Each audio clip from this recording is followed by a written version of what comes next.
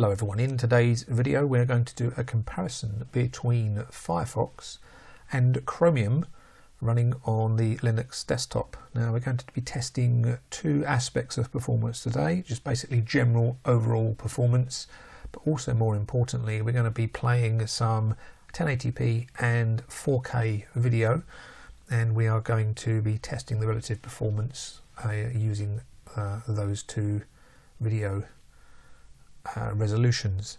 Now, my browser of choice is usually Chromium. Um, now, I usually find Chromium to be the more responsive of the two, um, but there are other reasons I've historically chosen that. One of them being the fact that it tends to better respect when you run dark themes on the system. So things like your dialog boxes uh, don't have uh, odd low contrast text against backgrounds, etc. Now there are some fixes for that, but um, uh, in Firefox, but um, I've always found of the two that um, Chromium's tended to be a bit better in that regard. Firefox, it's fair to say, has got better of late, and that's less of a problem.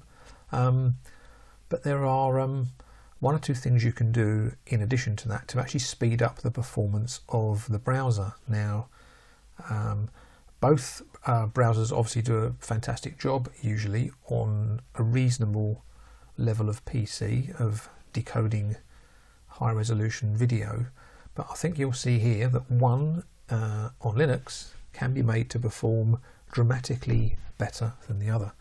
I won't say which until we get into the test but um, let's start. Now before we do this there is a small tweak you need to do or possibly need to do to your Firefox installation. Now some distributions of Linux may well enable this by default.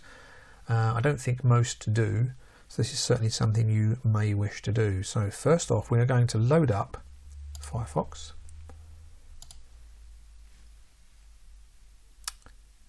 So there we go, there's our, there's our Firefox loaded.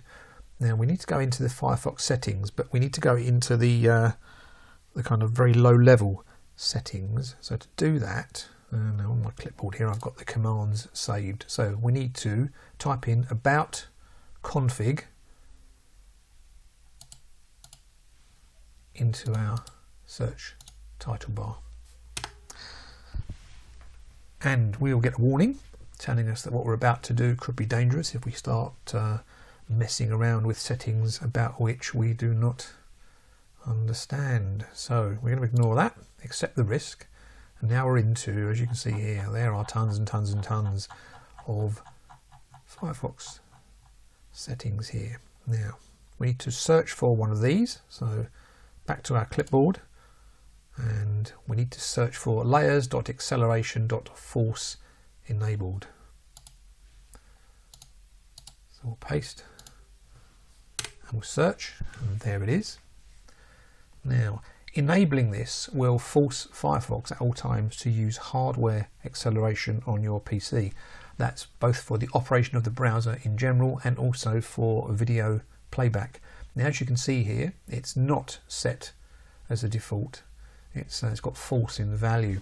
So what we want to do here is just double click and now you'll see we've modified it and we've changed the value to true. Now for that to take effect you actually need to close Firefox and then relaunch it. So before we do that, let's load up Chromium. We'll take that to the edge of the screen. And let's load up the Plasma system monitor.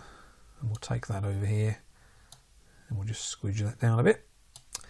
There we go, technical term there, squidge, remember that one. And let's uh, load up YouTube. Now, let's find us a nice 4K video. This will be, probably be a good candidate, so let's load that. Make sure we're on our 4K setting and we'll uh, enlarge the video image there.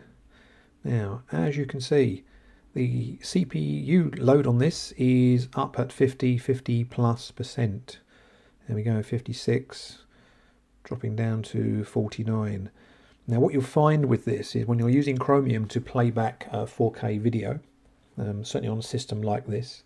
Um, it will hover between probably mid 40s up to say 60% CPU usage. Now, whether that's a problem depends very much on the machine that you're using. Now, if you're using a 12 core Threadripper, AMD Threadripper, then probably this wouldn't even cause you uh, a problem. This is probably going to register what 5 10% on on such a system. But this is um, an i5 uh, Intel processor, a very recent one. It's a 4 core, 8 thread, but it's an Intel NUC. Um, uh, so these are the very small form factor designs uh, intended to be low power. So on such a system, you certainly want to minimize the CPU load on any applications that you run.